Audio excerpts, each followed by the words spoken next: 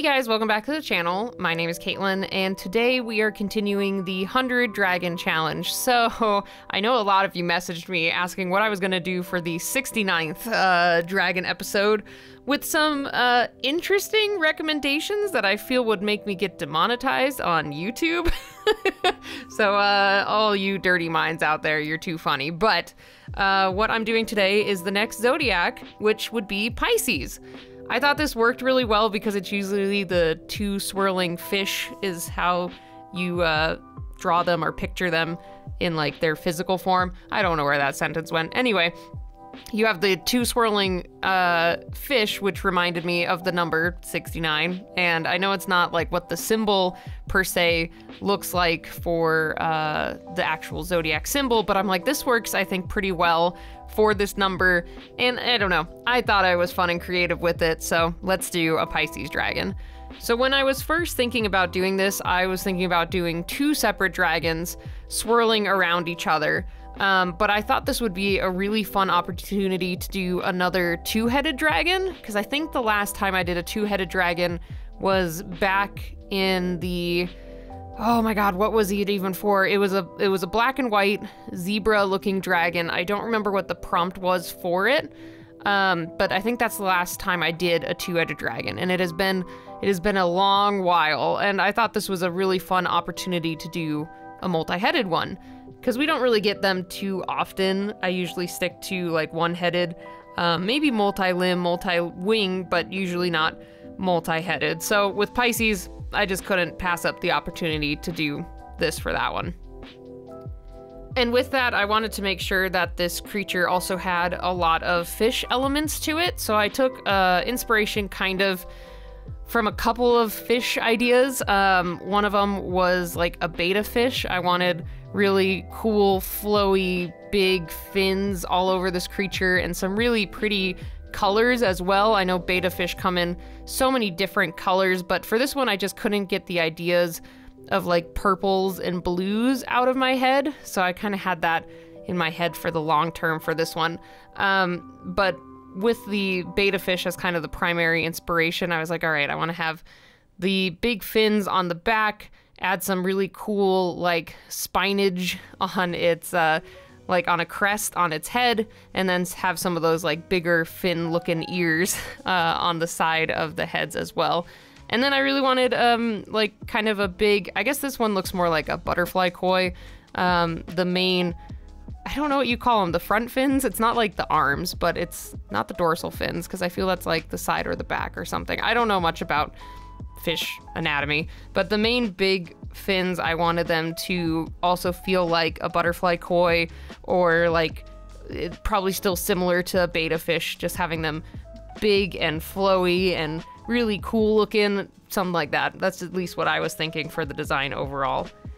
And uh, I really like how this pose turned out. I really wanted to highlight both of the heads and show them kind of interacting. I went back and forth on if I wanted the pose to look like um, like six and nine, you know, like having them kind of weaving by or around each other with the heads. And I was like, I don't know if that works super well in this piece because it would kind of make the heads almost look like um, pretzeled in a way.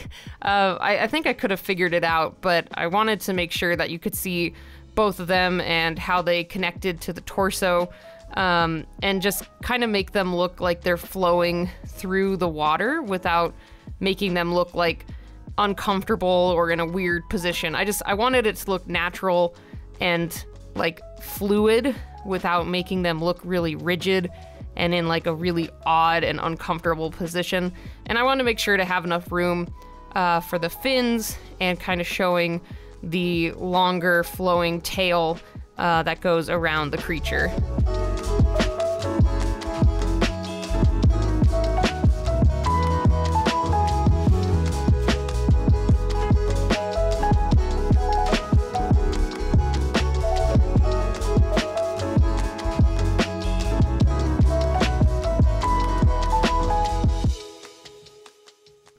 So after the initial line art was done, I went through and added a little bit more thicker line work um, on some of the fins and the heads because it felt like with all the twisting and turning of the tail and the other like main fin wing in the background.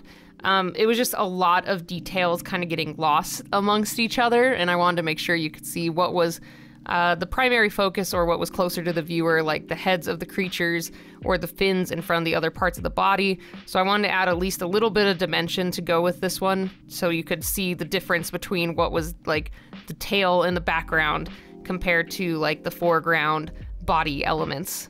I just didn't want them all to blend together, and that's always a great trick to help things kind of pop out and be on a different dimension than other parts of the drawing. So next up was color. So like I said earlier, I was thinking about doing some purples and blues, but then I kind of sat there for a minute and struggled a little bit with where I wanted to go with it because I didn't want it only to be purples and blues. Um, so I chatted with a friend and uh, they recommended adding maybe some like reds or yellows, and I'm like, oh, that's a great idea. Um, keep it all in kind of the violet and blue spectrum, um, but then add a pop of yellow to make a little bit of differentiation to all those cool colors. And now it's time to jump in and start the colors. So I think the one thing that I didn't really like as much for this uh, creature was how the fins turned out. I think they're okay, but I was hoping, I don't, I don't know, like, I don't know if it was just I should have planned it a little better or tested it, but I felt the transition from the blue to the yellow ended up being a little bit muddier than I wanted. Um, I was trying to blend them a little bit more. I knew that there was a chance that they wouldn't blend, you know, perfectly because they're just such different colors, and mixing those two together would potentially lead to a muddy color. But when it actually happened, I'm like, well, great. That's kind of, kind of, sort of, really muddy. so I think that's my one major critique on this one is just it looked it didn't blend super well in terms of like the blues meeting the yellow. But since I did it in one spot, I had to keep it up and keep it consistent throughout the rest. So yeah, I basically continued the yellows and the blues throughout all of the back and ear spines, and then I wanted to keep it consistent throughout the fins. Um, later on with the bigger fins, though, I had learned my lesson um, and kind of changed it up for that one. I guess I could have also changed it for the main back fin as well, but I just wanted to keep those all consistent and make the main wing fins a different color overall. Um, I just, I don't know. I, I think I'm being a little too critical. I know it is a little muddy, but I still think it looks pretty good overall, and I really like the color choices for this piece and this creature. I guess one other thing I noticed here as well. I mean, I don't think I need to always point out my errors in my drawings, but I just noticed I didn't put the yellow band from the other head on this second head. So we're just gonna ignore that. Oh, here, this is the justification. That yellow band is on the inside of the neck only. it's not on the outside of the neck. So the left head doesn't have the yellow band because you just can't see it. There we go. Okay, never mind. Not a mistake. Totally intentional, 100%. Just ignore it. It's totally fine. Don't worry about it.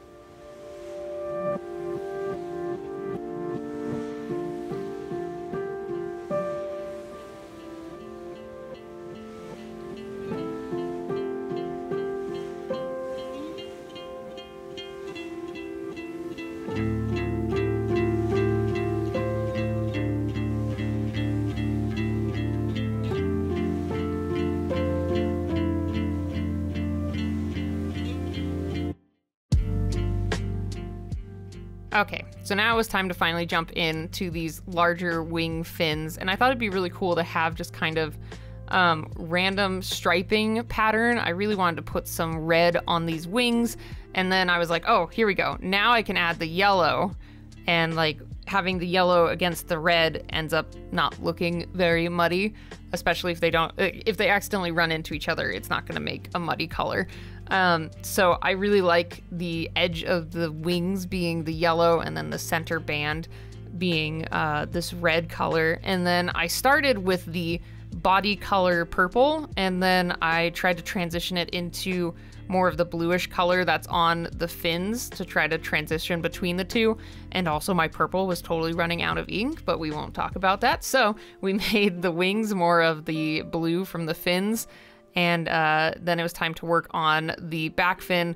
And I mean, I could have, I could have made that more like the wings, but now that I'm looking at it, I guess I, it was good that I picked it to look like the, uh, the crests on the back of the head anyway, because then we have another wing behind that. So it could have looked a little confusing on what was wing, what was crest. Um, but yeah, one critique, I would change those little muddy bits on the different fins. And then I added a little bit of patterning uh, to the wing. And looking back, I do think I could have, or I do think I could have, that's a sentence, guys. I think I could have added some really fun patterning to different parts of the body or along um, maybe the neck or towards the end by the tails. Uh, but I think just the little hit of the pattern on the wing fins I really liked as well, and it just kind of added a little bit of diversity to the pattern and the look overall. So, I mean, I'm still very happy with how this turned out, and I hope that you Pisces out there also really like it. I know the zodiac ones are kind of hit and miss. Some people are like, oh, yeah, 100%, like that's my sign, and I love it. And sometimes people are like, meh, maybe not 100% to my sign, but I had a lot of fun. And uh, I think there's a lot of ways you can interpret these zodiac dragons. You know, there's just so many options you can go off of the uh, element that the zodiac is associated with. You could go off of different descriptions of the zodiac. Lots of really cool things that you can draw inspiration from. But speaking of uh, inspiration, let's look at your guys' entries for last week's Ghost Dragon. You guys had a lot of really cute ones. Some of you guys did more like cute and fun dragons, and others went for more of a creepy look, but overall, amazing work, guys. Mighty Camurai, I really like the combination of your bone and like cool ectoplasmy looking green ghost. Really love that. And a normal ADN, I had to highlight this one because yours is just so cool and like cryptid looking. Really awesome work perfectly creepy for a ghost dragon. So if you guys would like to enter uh, your Pisces dragon, make sure to post it on Instagram or Twitter with the hashtag KM100dragons, or you can join my Discord where we have a server where you can upload them to there as well. I collect it from all of those different places. Um, but yeah, I would love to see what your guys' interpretation of the Pisces dragon would be.